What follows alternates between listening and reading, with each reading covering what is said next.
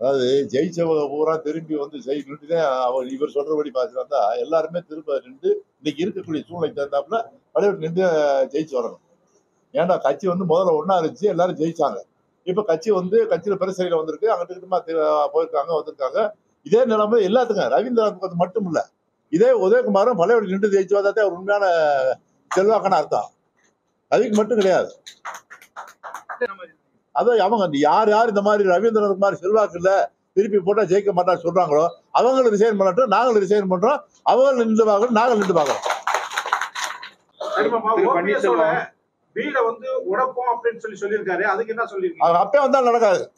அவங்க அப்பே வந்தா நடக்காது. ஆம்பளை நடக்கா அன்னைக்கு வந்துருக்காங்க. ஆம்பளை இருந்தா சரியான வேட்டி கட்டு ஆம்பளை இருந்தா வா பாப்போம் தொட்டு பார்த்து- தொட்டு பார்த்துட்டு. அவங்க தேனி மாவட்டத்தை விட்டு வெளியே போயிடட்டும் நாங்க பாத்துக்கிறோம். துரோகத்துக்கு முதல்ல விளக்க சொல்லி கேட்டுங்க எல்லாரும். துரோகம்னா என்னங்கிறது. அம்மா இறந்தாங்க. இறந்த உடனே வந்து எல்லாருமே சேர்ந்து பன்னீர்செல்வத்தை முதலமைச்சர் ஆக்கினாங்க. ரைட்டு இருந்தார் கொஞ்சம் அது பாட்டு ஓடிக்கிட்டு இருந்துச்சு.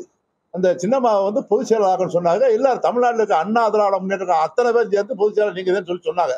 அதை எல்லாருமே ஏத்துக்கிட்டாங்க.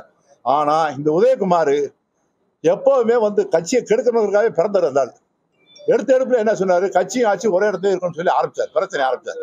பிரச்சனை ஆரம்பிச்சதே அவர் தான் இந்த துரோகத்தை பத்தி யா- யா- எது துரோகம்? அதுக்கு அடுத்து அதே சின்னம்மா விட்டு இவர் வெளியே வந்து இன்னைக்கு வந்து எடப்பாடி இருக்காரு. இது யார் செஞ்ச துரோகம்? அதை காட்டு இன்னொரு முக்கியமான விஷயம். சின்னம்மாவே வந்து எடப்பாடியை வந்து முதலமைச்சர் ஆச்சு. இன்னைக்கு அதே எடப்பாடி வந்து சின்னம்மா எடுத்து அரசியல் பண்றாரு. இது யார்? இது இதுக்கு பேர் துரோகமா? இதுக்கு பேர் துரோகமா? துரோகம்னா என்ன முதல்ல அதை சொல்லுங்க. சசிகலா இன்னைக்கு சொல்றான் சசிகலாவின் தினகரனை வரவேற்போம். சசிகலாவின் தினகரனை வரவேற்போம். அண்ணாதிமுக காரவங்க அவங்க. அவங்க அண்ணாதிமுக காரங்க அண்ணாதிமுக காரர் யாரும் வந்து சேர்றதை நாங்க ஏத்துக்கிறோம். யார் சேர்த்தாலும் ஏத்துக்கிறோம். அதுல அவரையும் சேர்த்துக்கிறோம். சட்டப்படி இன்னைக்கு வந்து ஓபிஎஸ் தான் ஒருங்கிணைப்பாளர்.